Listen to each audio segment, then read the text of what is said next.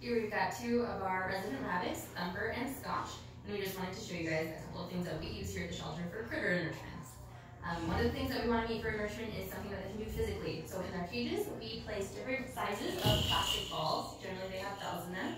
They can knock them around, throw them sometimes, um, push them off their shelves. Just usually something that they get to interact with that moves and they sound with them.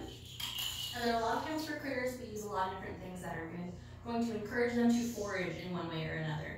Commonly at the shelter, we use empty toilet paper rolls or paper towels um, holders, placing either some fresh greens or some store-bought treats inside of them.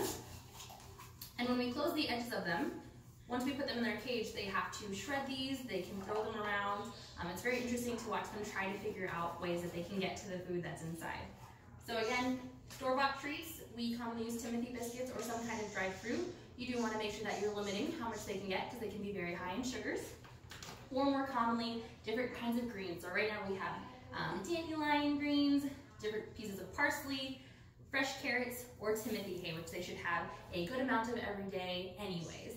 Uh, but different, finding different ways that you can hide them in their cage is going to encourage them to explore, use their brain, and keep their lives much more enriched. So we hope that we see how you do a little bit of critter enrichment with your pets